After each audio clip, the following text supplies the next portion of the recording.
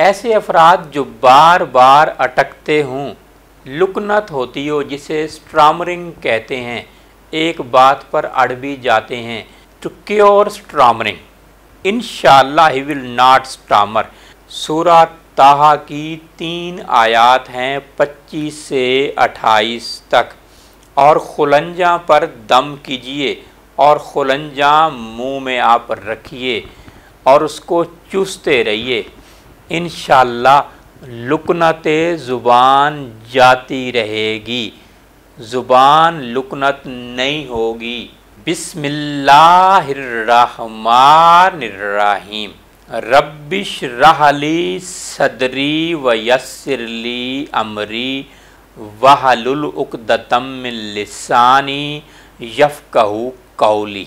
पढ़िए, खुलंजा पर दम कीजिए और खुलंजा मुँह में रखिए।